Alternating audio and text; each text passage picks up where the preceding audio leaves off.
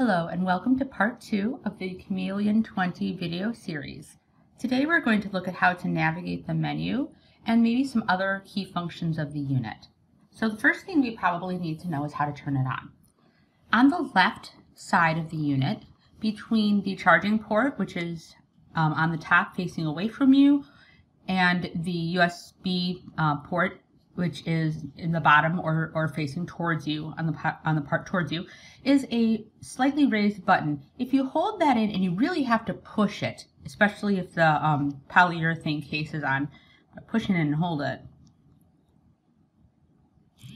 And then of course you'll hear it buzz. And if you can see it all, you'll have you'll see this LED light turn green.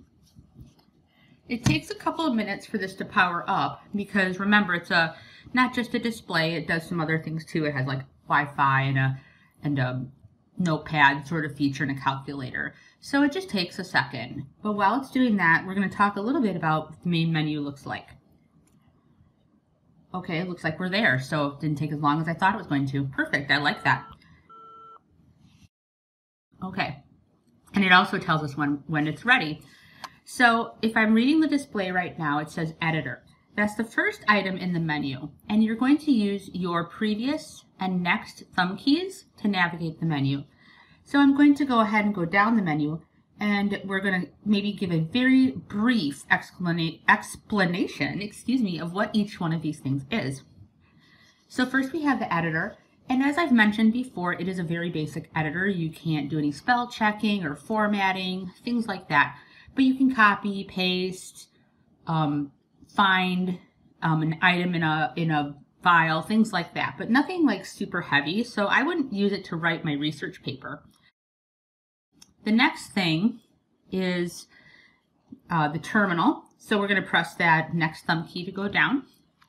And the terminal is where you need to be if you want to connect it to another device, whether that be by Bluetooth or, um, or with a cord. So another way, just to give you a heads up to navigate this menu, is a space plus the number four, or the dot four, I mean. So that goes forward. And space and dot one moves you backwards. So you can use the previous and next thumb keys or your space and dot one or dot four to move through the menu. And I just mentioned that as an alternative. So I, I prefer using the previous and next thumb key. Right now I'm focused on the library and the library is um, a way of getting to books that you can download from Bookshare. Uh, we're going to go down. File Manager is the next option here. And the File Manager, of course, is where you open files from, or it's how you sort and organize your files, things like that. We're going to go ahead and go down again to the calculator. Again, very simple calculator. It's not going to do your calculus with you or anything like that. It's just going to be pretty basic. It's not a scientific calculator either. It's just kind of a basic one if you need to have one with you. Date and time, and this is where you would go to um, do your setting of your date and time, which we will do later. Here are our settings, and we will go through those later, I believe. Online services, and we'll discuss that at another time, but that's another option on the menu. The user guide, obviously, is an option, which is nice. And then this last thing on the menu is power off. And you can access this power off option in the menu to power down your unit. You do not have to do that to power down the unit. You can just hold the button, the power button for like two seconds and it powers off. It's really kind of optional. Another thing that we can talk about very briefly is if I chose to enter a menu or cho chose to select an item in this menu, I'm just going to go back here um, I'm going to go to settings. And if I wanted to activate or get into the settings, there are a couple of ways I could do it. I could press enter, which is our dot eight. And here I am. It's um, user settings here. And if I want to get back out of that, I would do a chord E to escape. And now I'm back in that main menu. Another way to get out, to get in and out is again, I'm focused on settings. If I press a cursor routing key above that word, that's like selecting it. And again, here I am, user settings, and that's in the settings menu. Another way to get back to the main menu is to press this home button very uh, round home button that's on the front in the very middle between the um, left and right thumb keys. So I'm going to go ahead and press that. That the only, um, I guess, disadvantage to that is that not only takes you back to the main menu, but it also takes you to the top of the main menu. So right now I'm focused on editor, but I did want to show you what happened when you activated and got out of a setting or, or area in the menu. Um, there are some key combinations that you're uh, going to need to know. And we talked about the first one that I wanted to was the activating a selected item. And escape and going back is always space E. The previous and next item, as we also talked about, were the, as a review, were the previous and next thumb keys, or space dot four to move forward, and space dot one to move backwards. To go to the top of the menu, you can either um, touch this um, round button here, or you can do dots space with one, two, three, or letter L. Will take you to the top of the of the menu.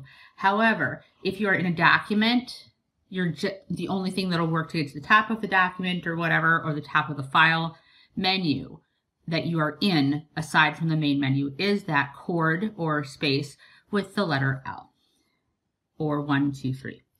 To go to the bottom, and I bet you can figure this one out, space dots 456 will take you to the bottom of a list, menu, or document or file. Important thing to know between uh, for your Braille is if you need to toggle between your Braille grade, you're going to do a backspace, which is your dot seven here, with the letter G, and that will toggle your Braille grade. Now, um,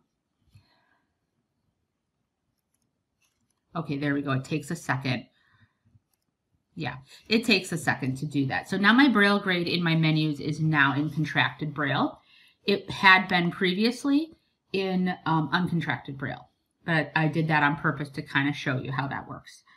Um, the battery level, you're going to do an enter with a letter P. So enter with dot eight with a P will get you your battery level. And it will say battery, and then it's going to give you whoa, it's, it's, man, we need to kind of adjust how long that stays on there because I wasn't paying attention.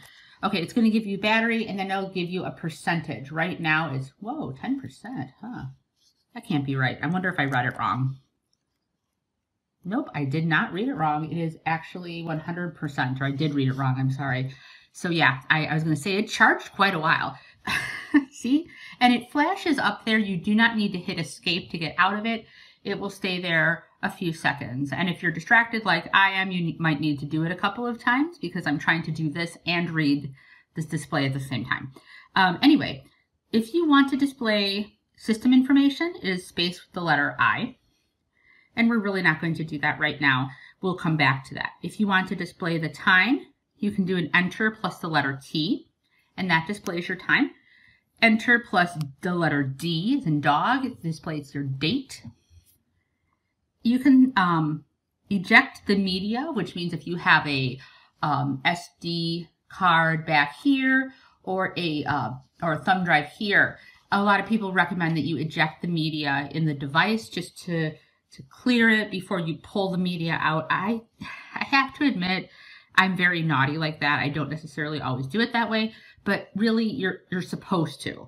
So to eject your media, press an enter plus the letter E before you pull it out.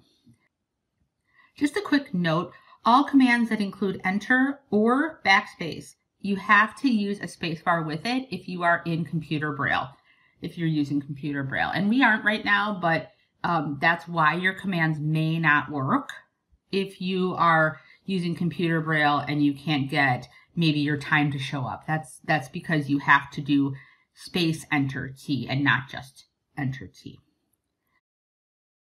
So that's it for this installment. I hope it's been helpful for you, and uh, please feel free to check out all of our other videos on the Chameleon.